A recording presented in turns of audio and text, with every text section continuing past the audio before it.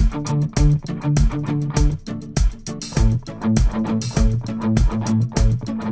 you.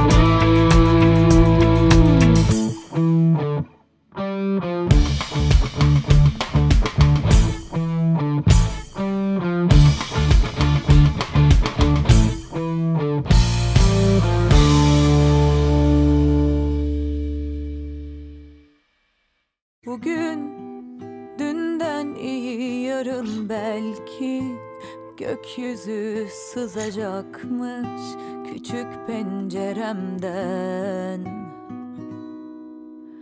Öyle yine de ışık aramakla geçecek.